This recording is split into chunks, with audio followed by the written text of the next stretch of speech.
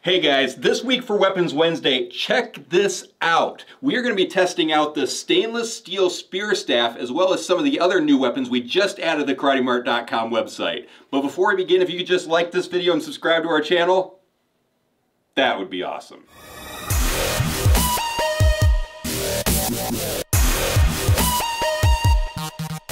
So last week I had so much fun making our video. I actually had Amanda go back to the warehouse and find some of the cheesiest Mall Ninja weapons she could possibly find for me to review. And for those of you who aren't familiar with what Mall Ninja weapons are, those are the type of fantasy weapons that you often find at the mall that are clearly more of a wall hanger than a legitimate weapon. But I got to review them and I got to test out their durability to see how easily I could break them. And then I asked you to go to the community tab and vote in two different polls. The first poll was which is the cheesiest Mall Ninja weapon that I showed off. And you guys went and voted for the Alien Fantasy Axe. Such a good choice. This was absolutely my choice for cheesiest Mall Ninja weapon. I mean, look at it. All you have to do is look at it to realize how Mall Ninja this is. And if you watched my video, you saw that it didn't hold up very well to the abuse that I gave it. But then I also asked you to go to the community tab and vote for which Mall Ninja weapon was your favorite. And you guys went to the community tab and voted for the Hooked Badlands Sword, which is funny because this was actually my choice as well for my favorite Mall Ninja weapon because it did hold up better than all the other Mall Ninja weapons. So again, an excellent choice. So this week we're going to try something a little bit different. So back in the day we used to record a lot of our videos back in the warehouse and it was a lot of fun and some of you mentioned that you'd like to see the warehouse again. So I asked Amanda to leave a bunch of the newer weapons back there for us to review. So she's going to lead me around back there and we're going to find the weapons that I'm supposed to review today. So let's go take a trip into the warehouse and just see what she's got for us. All right, let's go find your first weapon. This is fun. I haven't been in the warehouse with you guys in a while, so it'll be fun to see what's actually changed back here a little bit. All right, Amanda, where is your first weapon? Go to the left. Okay. All right, which room are we going to? We are going to the weapons room. Okay, gotcha. And it'll be on your left. Okay. And then bottom of the first shelf. Oh, perfect. Okay, cool. All right, what do we have here? Nice. Okay, so our first weapon is the Black Ops Tactical Knife. Ooh, good choice, Amanda. I like this. So first off, check out that Kydex sheath. That is really a nice Kydex sheath. And then it's got one of these belt clips on it that I just love. I love this style because it's the type that has a little button here. You open it up, attach to your belt, close it, and then it actually has a lock on it. So I love that type. I think it's awesome but you guys want to see the knife itself, and so do I. So let's check this out. Look at that. That is a stunning looking blade. Um, so the things I noticed first off is look at the contrast between the black finish on the blade and then the steel around the blade itself. I just love that. That is so cool looking. And then the handle is really comfortable. This is definitely a G10 handle feels really good in my hands. And then I've got this jimping up top that gives me really good control of the blade of the knife. And then check out the blade shape on this thing. It's a Tanto blade, but it's more of like a modified Tanto blade where we've got this little tip thing up here. And I love that because that's gonna be so good for stabbing or slicing. I love that. I think it's so good. And the blade itself is super sharp. I mean, this is a really sharp blade. So that is awesome. Um, the thing that I don't really like about this, first off, is listen to that. So when I choose a knife, I generally like a stealthy knife. So I'm not a huge fan of this D-guard here. So it's called a D-guard because look at how it's kind of formed into the shape of a D. You've got the handle and then it's a D there. And generally I like D-guards, but I'm not very fond of this specific one because I don't like this whole paracord thing. I don't think it does anything to really protect your hand. And then it's got these little links here that kind of connect into the knife. So the cool thing about this is we can actually remove it. We just have to unscrew these little links here and then I can just take that off And why that's cool is because if I needed this for survival purposes, this would be an awesome little aspect to the knife. So I guess the best thing to think to yourself is if you're going to use this for a survival knife, leave this on. If you're, if you're going to use it for a tactical knife, take it off because I want that off so this will be as stealthy and quiet as humanly possible. So let's see, we also have this really nice lanyard hole on the pommel, and that pommel is actually really heavy duty. I think we could use that pommel really nicely for non-lethal defensive purposes. I could use that for hammer strikes. I could use that for all sorts of strikes, so I really like that about it. But let's look at the blade itself. So the blade itself is made from an 8CR13 MOV steel. So I actually really like 8CR13 MOV steel because it's a fairly hard steel that has a good edge retention and wear resistance and is actually very corrosion resistant and if you do mess up your edge, it's actually super easy to sharpen as well. So I think it's an excellent steel. And then we can also see that it's got this false edge on top, which I love false edges. I think they give it a good aesthetic appeal, but then also I actually like to sharpen them up. But if you ever do that, definitely check your local laws because there are some really strict laws against that. And then we can also see that there's venting in the blade here. Now that gives it a nice aesthetic look, but this is also a fairly heavy knife too, so that actually takes off a little bit of weight off of this knife. And we can see that it is full tang going all the way through the handle. So this knife is gonna hold up for you very, very nicely. I would just personally take off this D-guard here if I was gonna buy it for myself. So the overall length is approximately 12 and a half inches. The blade length is approximately seven inches and it weighs approximately 15 ounces. So I love the weight of this knife. But that's about all there is to say about this. So let's go ahead and put this away and let's move on to our next weapon. All right, Amanda, where are we walking to next? All right, you're going to go to the right. Okay, all right. And we're going to the stun gun room. The stun gun. the stun gun room. At the okay. very top to your right. It. Yep. I already see it. All right. So what do we have here? And our next weapon is the mini anti-grab stun baton. Why, Amanda? Why? Because it's right. awesome. Yeah. So we already carry a couple of anti-grab stun guns and they're so cool because they actually make it very difficult for an attacker to take your weapon away from you. So let's just look at this.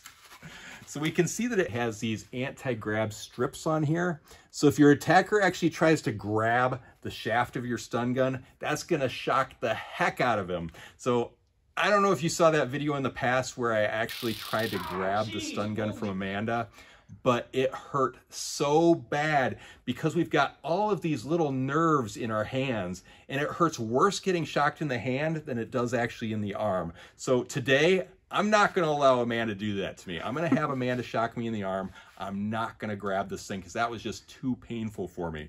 But let's take a look at what this thing comes with. So first off, we can see that it comes with this really nice nylon sheath. It'll kind of sit on the side of your body. So that's pretty nice. And one of the things I really like about this stun baton is that it's smaller. A lot of the stun batons we carry are so bulky that they hang down to here.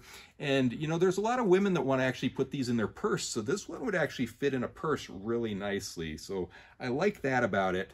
Um, we can see that it's made out of an ABS. A lot of the stun batons we carry are made out of a metal, some sort of aluminum or steel. This is definitely ABS, but it's got a really nice rubberized grip to it. But because it's ABS, it's not going to be as durable as a steel or an aluminum stun baton. So I wouldn't be using this for striking. That would not be the purpose of it. The purpose of this being a stun baton would be to give you a little more reach between you and your attacker. So I like that about it. I think it's pretty nice. And this thing is light too. This only weighs about seven ounces. So that is super light. So if you're going to keep it on the side of your body, it's going to be really nice and comfortable for you. Now, another thing I noticed about it is it's actually got this wrist strap on it, and it's a type of wrist strap that actually has a disable pin for it. So I'm gonna put in that disable pin there, and that actually engages the stun baton. So now it's actually gonna work. So if you have this on your wrist, and your attacker tries to grab it from you, and they don't get stunned enough by this little stun strip, and they take it away, all of a sudden this thing's disabled, so they're not going to be able to use it against you. So I love the fact that it has this disable pin on it. I think that's such a good feature. I'm going to plug that in right now. Let's test this thing out a little bit. So first off, we can see that it has this on-off switch on here. So it's currently on off. If we turn it up one, all of a sudden we've got an LED flashlight. So that's nice. And then if we kind of switch it back to off and turn it back to on, then we've got the strobe effect. We turn it one more time and then it's the bright LED flashlight. So I like the fact that it has three different light modes, bright, dull, and strobe. Strobe is really nice because that'll actually gather the attention of anyone around you. And then if we push the button all the way up, all of a sudden it's engaged as a stun gun. So I'm gonna push this button right here and I have a feeling it's gonna stun. Oh yeah, that's pretty loud. That's a pretty loud one. Um, and one thing you should probably know is when it is on flashlight mode, the stun's not gonna work. It only seems to work when it's all the way up in stun gun mode. So yeah, that's that's pretty loud. Now the manufacturer doesn't state how many volts this stun gun is, which I actually really respect that, and that seems to be the new trend when it comes to stun batons, because manufacturers used to just throw a random number on their stun batons to make it appear that it was stronger than other stun batons. So often you'd see on the packaging 500 million volts or 100 million volts, and that just doesn't make any sense. So I love the fact that the manufacturer didn't put any sort of voltage number on this stun baton. So the way we're gonna have to tell how strong it is, is by how loud the crackle of the stun is. So let's just listen again. Oh yeah, that is going to be very strong. So the other way we have to test it is I actually have Amanda shock me with all the stun guns we've carried. If you've watched my previous video, you've seen me get stunned by all of these. And I hate it, but I feel like that's a necessary part of knowing whether these are an effective weapon or not. So I'm gonna go ahead and pass this over to Amanda. I'm gonna have her stun me in the arm. I'm actually gonna hold on to here so I don't, oh gosh, don't move too much. So here we go, oh jeez! oh, that hurts so bad. Ah, jeez, I hate that. So yeah, it's definitely an effective weapon. She just did it for a split second and it hurt really, really bad. It feels like someone kind of punched you in the arm and then grabbed your skin and just stretched it. So it's like a nails digging into your skin plus a punch at the same time. It's definitely painful. So I can't imagine what it would hurt like to get stunned for like three or four seconds. So yeah, I'm gonna go ahead and put this away and let's go find your next weapon, Amanda. All okay. right. Which way are we going? To the right. Okay. Oh yeah, it's getting red. Nice and red. All right, where are we heading? It is the right-hand side bottom shelf. First okay, one. here we go. All right, and the next weapon Amanda has for us is the Full Tang Nata Machete. Ooh, I like Natas. I think they're so cool. And look at that. That is really nice. So for those of you who aren't familiar with natas, um, they're actually a Japanese tool that's been around for hundreds of years that's used for pruning trees, chopping through brush, but they're actually a really good weapon at the same time. So I like them. I think they're pretty cool. This one's a little different though. So first off, we can see that it comes with this black nylon sheath and it's kind of heavy duty, not overly heavy duty. I like the fact that it's got this nice belt loop in it. It's actually a pretty heavy duty belt loop, so that's not gonna go anywhere if it's on the side of your body. But I'm not a big fan of the shoulder strap. It definitely looks a little lacking. I don't like how strong that looks, and I don't think it's long enough to actually fit on my shoulder very well. So that's one thing I don't like about it. Um, but let's look at the blade itself, because that's what's really important here. So the blade is clearly full tang. So I like that about it, and that's a pretty thick piece of steel. This is actually made from a 3CR13 steel, which has some good things about it and some bad things about it. Um, it is a stainless steel, so it's going to be very corrosion resistant, so I like that about it. It's not very good with edge retention though. But the nice thing about 3CR13 stainless steel is that it is really easy to sharpen. So I like that about it. And when you're, you're using a weapon like this, it's actually going to be used outdoors. It's nice that it's going to be corrosion resistant. And then it's also nice that if you're chopping away, it's going to be super easy to sharpen. So I actually think that this, the steel that they used on this is going to be a pretty good steel for this type of weapon. Now, we can see that the handle is one of these kind of nylon cord wrapped handles. I generally don't like that very much. It's not my favorite, but this one's actually fairly comfortable. It's bulky enough that it fits nicely in my hand. I have good control of this. I like that. And then we've got this choil here that's interesting to me too. So when we see a choil on a weapon, typically you'll see them on knives. Um, they're nice because you can kind of put your finger in there. You get a little bit more control of the weapon. Um, let's say we're whittling something. They're nice in that respect. We can kind of use that choil just for a little bit more uh, control of the weapon. Um, also, if we're skinning an animal, you get a little bit more control. So that's kind of nice. Now on a machete, I'm not a huge fan of a choil here. I mean, if you're going to chop, I definitely wouldn't want my finger in there. You could you could get yourself injured pretty easily. Um, your finger could also slide up onto the blade. I don't like that very much about it. So if I was going to use this for chopping, I'd keep my hand right here on the handle and I'd chop with it. Now, if I was going to, uh, let's say, clear the bark off of a branch, that would make sense to put my finger in that choil. Um, also, when you're sharpening, it's nice because you can sharpen this edge and not worry about hitting this area. It just sharpens really nicely up to the choil. So often you'll see manufacturers put a choil on their blade just to make it easier for sharpening purposes. So that's kind of neat. Um, we can also see that there's this hole here towards the top of the blade. Now, generally, you'll see those there so that you can hang this up. And that's kind of nice too. Like if we if we have an area where we have farming utensils or something, we could just hang that on the wall right there. So kind of like that. The blade shape is what makes this Nata interesting to me though. If we look at it, it's got this flat end here and that's so good because it gets such a sharp point right here on the tip. So if we're slicing through something, that's going to slice through just beautifully. So I love that about it. And the blade is super sharp. That's actually a really sharp blade. Love that. Um, we can also see that there's a lanyard hole at the end of the pommel right there. So that's nice if we wanted to add a wrist strap. Um, or we could just loosen some of this up and turn it into a wrist strap. So that wouldn't be bad also. So the overall length is approximately 20 inches. The blade length is approximately 14 inches, and that's all the way up to the choil there. And then the weight is approximately one pound, 2.6 ounces. This is a really nice weight for a Nata. I really like that.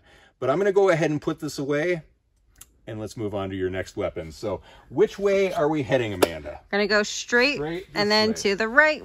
Okay. All right. Are you thinking this way to the right? Uh, yes, that'd be correct. Cool. All right. And then the second oh, or the third. Yep. I see your paper. Perfect. Okay. Oh, wow. It looks like we've got two of them. Okay. So it looks like our next weapons are the extra large black throwing knives and the extra large silver throwing knives. I love these. I love large throwing knives like this. Um, I did a video probably about six months ago where I kind of showed how I like to throw throwing knives. So if you didn't get a chance, go back and watch that video because it actually turned out pretty good. Um, but the nice thing about large throwing knives like this is that they're really easy to stick. I find that when you buy the small throwing knives, the ones that are like two ounces or less, the problem is that you'll throw them and they're so light that they'll kind of bounce off the wall and bounce back at you. So the nice thing about the large ones is they'll just stick so much easier. So I love that about them. Let's go ahead and look at the black ones first. So first off, it comes with this really nice heavy duty nylon sheath and it has a belt loop on there so we can just hang it from the side of our body if we want. So that's pretty neat. But let's look at the knives themselves. Oh yeah, yeah, I love these. I love broadhead throwing knives. They just seem to stick so nicely. So I love this style with this big, thick broadhead. Beautiful. And let's check the balance on these things. That's an awesome balance. And the way they get that balance so well is they do the venting in the handle of the knife just perfectly so it gives it just the right amount of balance between the blade and the handle. So that is absolutely perfect. When we go to throw these, you'll see they just stick beautifully. So this actually weighs approximately 7.5 ounces. That is the perfect weight for a throwing knife. Now the blade is made from a 1065 German surgical steel, which I've been seeing that a fair amount lately on the different throwing weapons that we carry. And I really like this steel. I think it's a really good steel. I've actually tested it out a ton and have had really good results with it. And then this one specifically has this nice black finish on it too. So that's gonna make it more corrosion resistant in itself. So we can see that these come three to a pack, which is really nice because if you've thrown throwing knives before, you know that they often get lost. Um, and that's one of the things I really like about silver throwing knives. So I'm gonna put the black one away and look at the silver ones really quick. Yeah, look at that. So if you're throwing these in the woods, that's just gonna kind of shine when the sun hits it. So that's gonna be really easy to find. So I love that about the silver throwing knives. Now there's a bunch of different ways to throw these things and all you have to do is a simple search on YouTube to find a bunch of excellent knife throwers on there that can teach you how to do it. Um, there's rotational methods, there's a no spin method, there's a half spin method. So you can go back and watch my previous video if you want to learn more about how I like to throw them. But these are actually approximately 12 inches long, which is a perfect length for a throwing knife. But there's not much more to say about this, so I'm gonna go ahead and put this away and let's move on to our next weapon. So where are we heading, Amanda? We're going to go to the bo staffs in the front. Oh, cool. Okay, cool. All right, let's do it. The nice thing is I think all the employees are gone for the night, so we should be good. All right. So this is a new shipment of rattan stabs that we just got, and these are like authentic rattan. So I love this kind of stuff. Like, look at this. This has like a bear paw design burnt into the rattan. That is beautiful. Now, all of these are only available on combative.com. So if you're looking for a really good rattan bo staff, go to combative.com and you'll find some really cool stuff on there. But why are we over here? Oh, here we go. All right, so our last weapon of the day is the stainless steel spear staff. I love this thing. I think this is so neat. I actually designed it with combative and I it, it just turned out beautifully. We actually originally designed it in aluminum uh, because we wanted it to be lighter, but we found that the tip would kind of ding up a little bit. So we chose to switch it up for stainless steel and I am so excited with the results of this. First off, it's not that heavy. This one is actually a five foot staff and it only weighs three pounds, 13 ounces. Now, generally a bo staff is going to weigh roughly about maybe two and a half pounds for a five foot staff, but this feels good. This actually feels really nice in my hands. I would have good control doing my tricks with this. I'd have good control with this as a weapon, and I love how solid it looks. So this is actually made from a stainless steel tube. So it is hollow, but it's got a very thick wall. So that is a high strength stainless steel. But we chose to use a tube that was hollow so that we could keep the weight down a little bit. Now the tips on the end are a solid stainless steel, so it's solid all the way from here up. And you cannot see that transition line at all. You will never be able to tell that it actually transitioned from hollow into solid because they did such a good job hand machining this. So I love hand machine weapons. They're all gonna look just slightly different from each other just because it is hand done, but this is really good quality workmanship. So I think this is so great. Feels so nice in my hand. I mean, look at those grip lines on there. That's so comfortable. The placement for them is absolutely perfect. We also designed grip lines up here. So if you're doing your forms where the staff comes out in a long range, you can grab up there too. So I love that about it. And these tips are super sharp and they're actually really durable. Now, I just want to give a little disclaimer with this. If you're gonna go out on a concrete floor and start spinning this around and it falls, you're gonna ding up the tip. But the same thing would happen if you took a knife blade and dinged it into a concrete floor as well. But let's actually test this out a little bit and see how strong these tips are because I know these things are strong because I tested the heck out of it. So Amanda, I'm gonna have you follow me a little bit and let's just test this out really quick just to see how strong this is. So we'll go back in the Bay Area because I know I've got some pellets back there and some other things that we can strike. Just go back there really quick.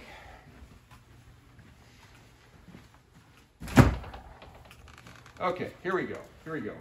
So we've got all these pellets right here. And this is really hard wood right here too. So what I wanna do is I wanna take this tip and hit it hard against this wood. Oh yeah, that, that's a really solid piece right there. So let's just hit this hard.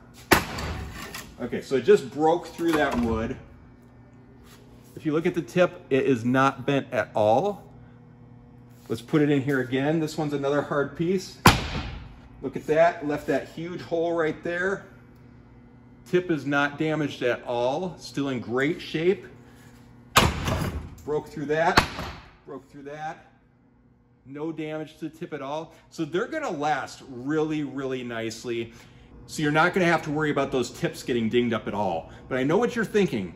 This area of the staff is the more hollow portion of it, but that is a very thick wall of stainless steel. So we're gonna test that out too really quick. So Amanda, why don't you follow me out here? I see a tree over here and I hope you guys don't get mad at me hitting a tree with this thing, but I feel like it's not gonna hurt the tree, but it might hurt the staff. So let's just test it out a little bit.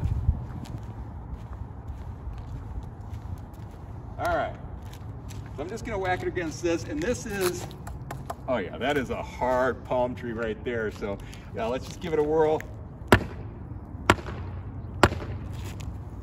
Perfect, no bend to it, no damage. The nice thing is too, like if you ever did scratch up the stainless steel, you could just grab some steel wool, clean it right up and it'd be good as new. So I love this thing. I think it is such a cool weapon. So make sure you guys go to the community tab and vote for which weapon you like best this week. I have a feeling this is gonna be the big winner. But if you have any questions, definitely leave them in the comments below. Make sure you like this video and subscribe to our channel and check out karatemart.com because we've got all sorts of awesome weapons on there right now. But until next week, we'll see you Weapons Wednesday.